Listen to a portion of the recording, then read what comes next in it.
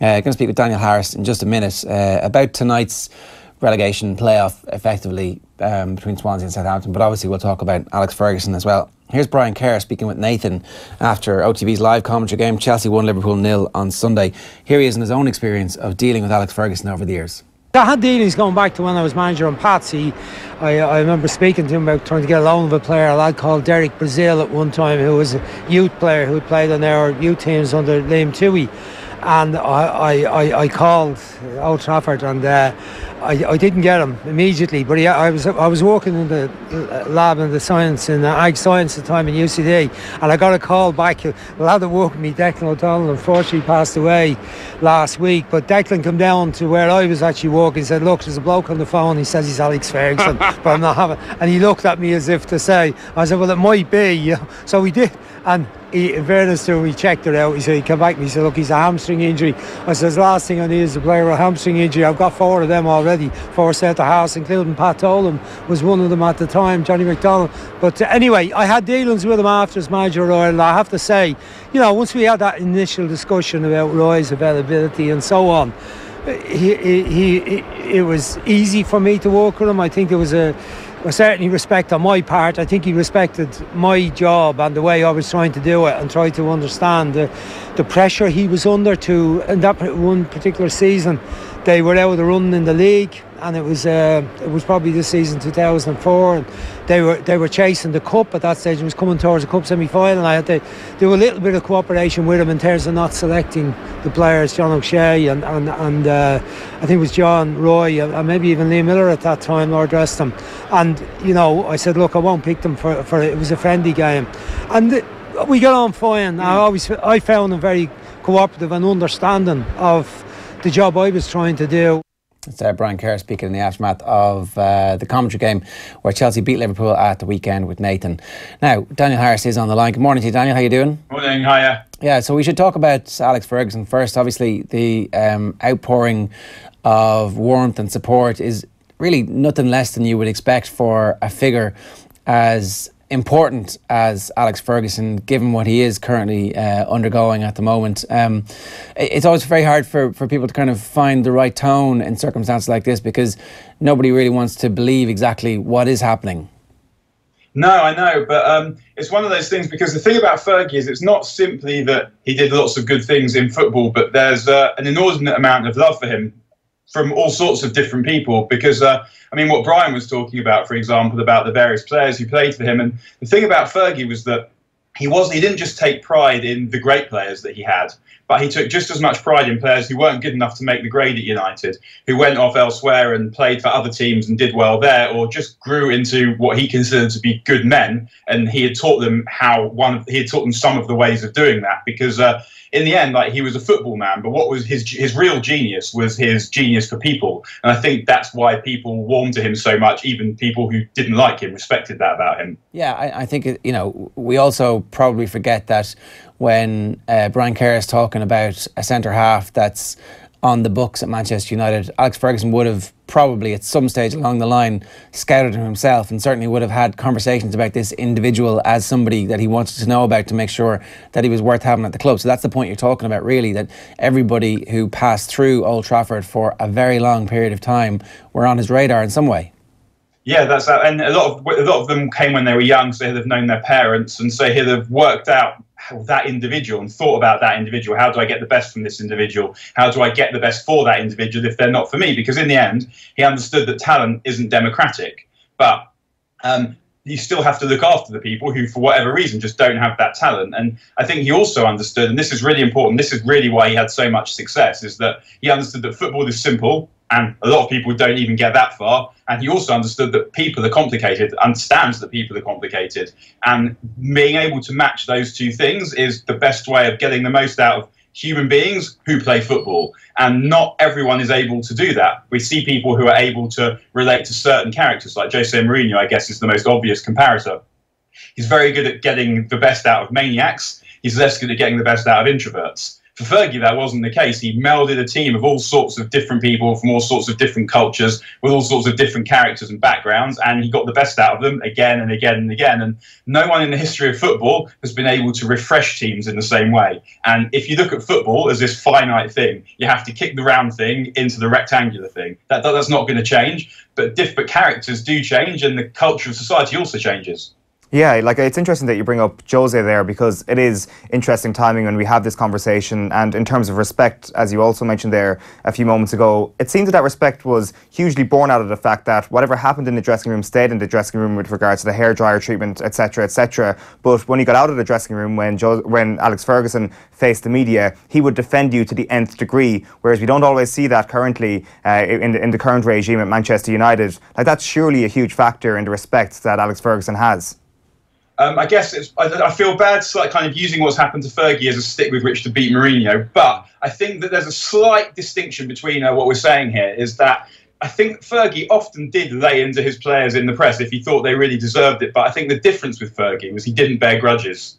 So if you had words with him, then he would go home and come back the next day, and generally that would be the end of it. Whereas with Mourinho, you feel like if someone annoyed him three years ago, he's still trying to find a way of getting back at them, and that even counts for his own players. So the players that he takes a dislike to, it seems like it's very hard for them to convince him otherwise. The so only, he didn't like Anthony Martial in the first place, and whatever he's done, he still doesn't like him. And whereas he likes Nemanja Matic, he likes Lukaku, and uh, I mean, he talked uh, after the Brighton game. Lukaku's a good example. He always say to me, "Why the Lukaku? Why the Lukaku? Why the Lukaku?" What you saw tonight is because why it's always Lukaku. Now I look at that and I think Lukaku didn't score for about ten games over er, in the winter, and he wasn't playing well either. So that's not really fair on him or on someone like Marcus Rashford or Martial, who's come in having not started the game since whoever knows when. But he likes Lukaku, and he likes Matic, and he likes their focus, and he likes the way they go about things. So they're given it, their excused poor performances in a way that players like someone like Anthony Martial, whose personality probably doesn't chime quite with Mourinho's, he has to have a bad half and you don't see him for three weeks. Fergie wasn't really like that. Yeah. Um, the only, the only um, maybe people worth pointing out that sometimes he did have a, a, grudge. At the end, there was definitely a grudge with Roy Keane, and you would say potentially there was a grudge against Beckham, which the Beckham one certainly eased with the passage of time. I'm not sure the Keane one did. Yeah, th- yeah, that, that's that's true as well. I think what you saw with Fergie really was the grudges only began against his own players when they were no longer useful to him. So he fell out with Keane when Keane was, was finished, more or less. He fell out with Beckham when he felt that the team needed to move on. He needed to refresh that midfield, and Beckham was the player he felt he could most do without. Uh, van Nistelrooy is another one. He fell out with van Nistelrooy when the team needed to move on. But it's interesting that of all the people he's fallen out with, with the exception of Roy Keane, the players have always come back to him.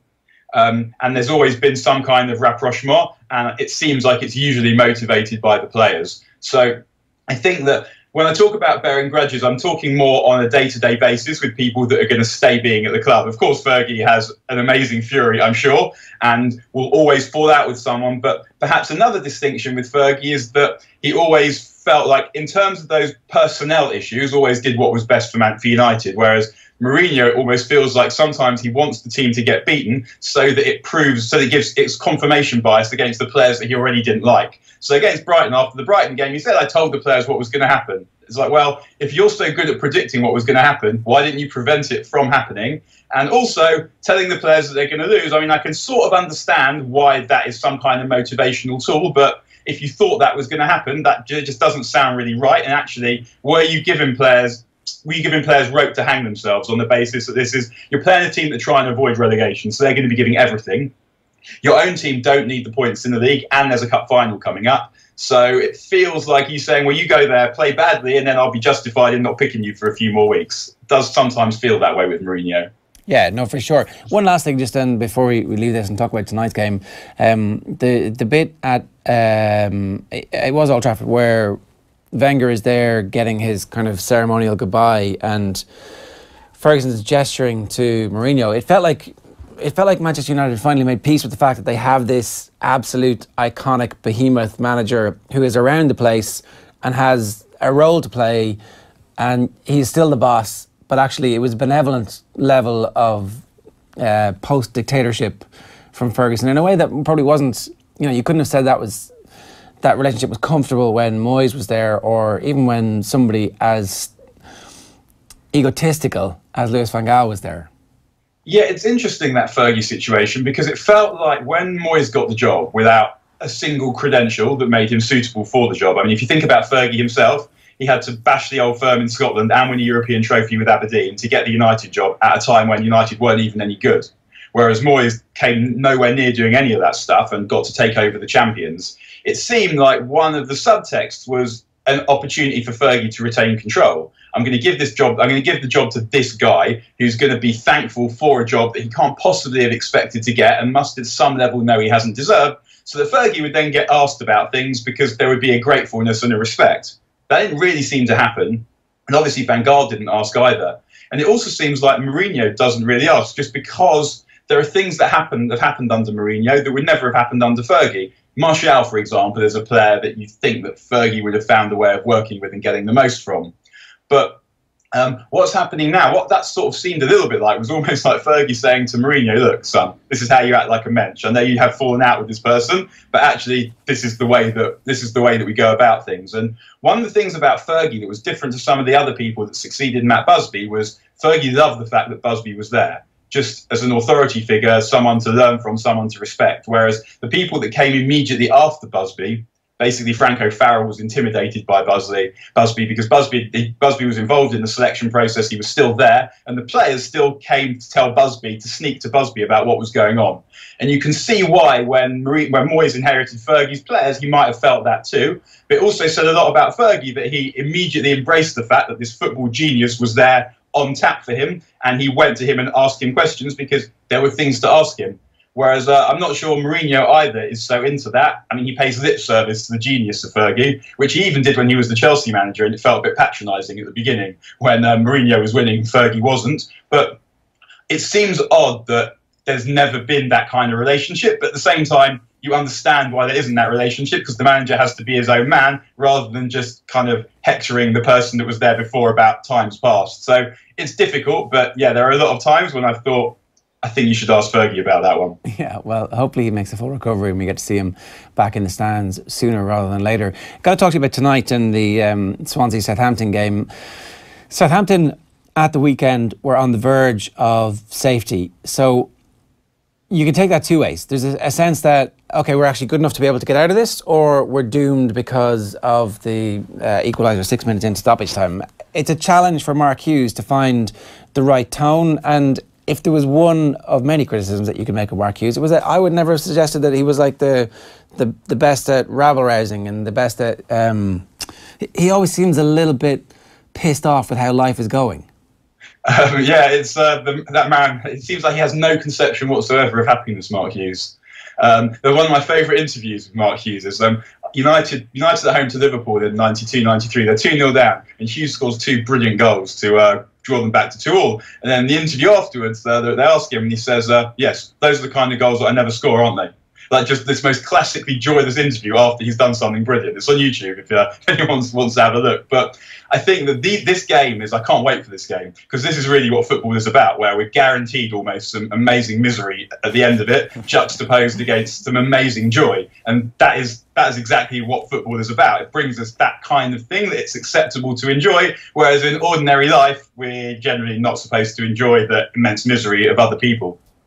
I think with Southampton is that they know that they're much too good to be where they are. I mean, obviously they're not because this is how many points they've got, so this is how many points they've earned, and this is how many points they deserve. But they've got a lot of quality, Southampton. If things had gone even half well this season, they'd be nowhere near where they are. Um, they haven't scored enough goals, but they do have players that can score goals, that can make goals. And Swansea have lost, I think, three in a row. So I'd be pretty surprised if Southampton didn't find a way of getting out of this because they've just got better players than Swansea in the end. And I think that hopefully Hughes what Hughes does have is righteous indignation, and he's enjoyed a lot of righteous indignation in some situations where he is not righteous, and he's also got no business being indignant. So I would imagine he should be able to engender some kind of mongrel behaviour in his players tonight. And in the end, you do want a manager to inspire the players, but these guys are really professionals. Like the amount they've had to sacrifice to get from where they began to where they are now tells you that they've got some mental strength and some pride, and I would expect them to deliver some sort of performance tonight.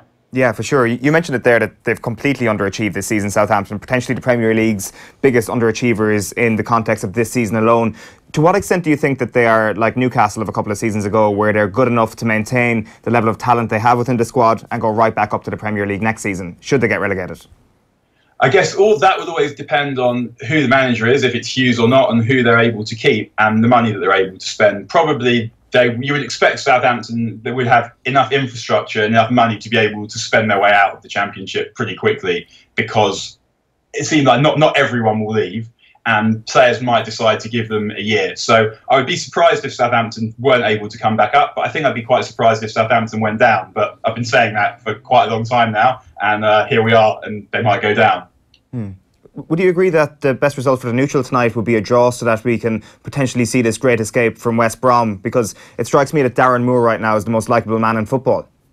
Um, I, and part of me thinks is that because we don't know him yet, but no, uh, yeah, he, he does seem like a really sound guy. So yeah, it would be it would be nice to see him, and uh, away fans all over the country will want the Vine pub to stay in the Premier League because uh, the Vine pub is a, a, Premier League pub. So there is that, but um, I think it comes back to that thing of if it, if it's a draw tonight, then that does take it to the last game of the season, which will be exciting, but the I mean, I'm kind of dreaming about the looks on the faces at the end of the game tonight if we get a positive result, and uh, the only way we're going to get that is if uh, is if we get that positive result. So it would be nice, I, I, would happily see I'd happily see West Brom stay up ahead of ahead of Southampton, ahead of Swansea, because uh, as you say, I like Darren Moore, and to get out of, to get from where they were to where they are would be perhaps the greatest escape that we've ever seen. So uh, it's a rare occasion, whereas fans of football fans of Premier League football, it's win-win. I think. Daniel, great stuff. Enjoy the game tonight. Thanks a million. All right, see you again. See you guys. Bye.